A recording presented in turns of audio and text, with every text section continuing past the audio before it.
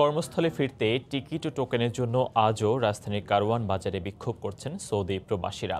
সকালে সৌদি প্রবাসীদের একটি অংশ সাট ফোয়ারা মোড়ে বিক্ষোভ করে কিছুক্ষণ সড়ক আটকে রাখেন।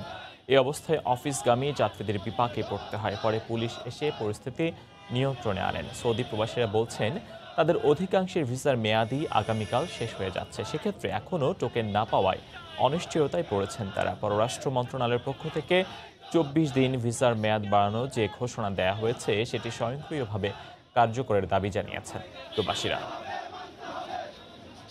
রাজধানীর মতিঝিলে বিমান বাংলাদেশের কার্যালয়ের সামনে সকাল থেকে ভিড় করছেন সৌদিগামী প্রবাসীরা। এই মুহূর্তে সেখানে আছেন সহকর্মী সানবির রূপল। বিস্তারিত জানতে সরাসরি যুক্ত হচ্ছে তার সঙ্গে। রূপল। ফয়সাল একরকম গোলা গোলক ধাঁধার চক্করে কিন্তু এখনও ঘুরকা- ঘুরপাক খাচ্ছেন অনেক সৌদি প্রবাসীরা যারা বাংলাদেশ বিমান এয়ারলাইন্সের মতিঝিলের কার্যালয়ে এসে হাজির হয়েছেন। আহ, ভোর রাত থেকেই কিন্তু অনেক অপেক্ষা করছেন কেউ কেউ সকাল থেকে এসছেন দেশের বিভিন্ন প্রান্ত থেকে এসছেন। শুধু আজকে না আমি গত কয়েকদিনে যাদের মুখ দেখেছি তারাও তাদেরও কিন্তু আজকে দেখেছি যারা এখনও পর্যন্ত টিকিট কাঙ্ক্ষিত টিকিট তারা পাচ্ছেন না। এর কারণ হিসাবে এখন যে অবস্থাটি তৈরি হয়েছে সেটি হচ্ছে ত্রিশ তারিখে অনেক অনেকেরই ইকামার মেয়াদ শেষ, অনেকের ভিসার মেয়াদ শেষ, কারও ইকামার মেয়াদ শেষ, আবার কারও ইকামার মেয়াদ থাকলেও ভিসার মেয়াদ নেই।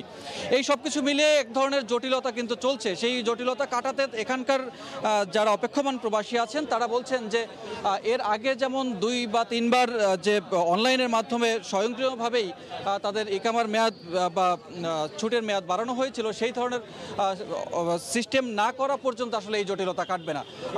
হুড়মুড়ি খেয়ে আজকেও প্রত্যেক দিনের মতোই প্রায় আহ, দরজা দরজা ভেঙেই একরকম মোটামুটি বিমান বাংলাদেশ এয়ারলাইন্সের কার্যালয়ে ঢুকেছেন।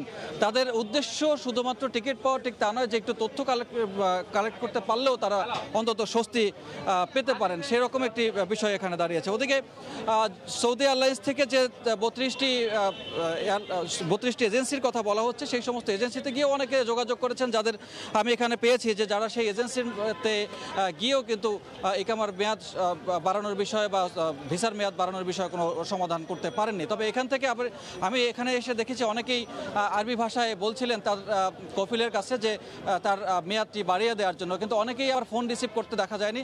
অনেকে সেই রকম একটি জটিলতার মধ্যেই কিন্তু এখানে অপেক্ষা করছেন যে, যদি তাদের একামর মেয়াদ বাড়াতে হয় বা ছুটির মেয়াদ বাড়াতে হয়, তাহলে তাদের মালিককে সাথে যোগাযোগ করতে হবে। সেই মালিকের সাথে যোগাযোগ টুকু তারা করতে পারছেন না।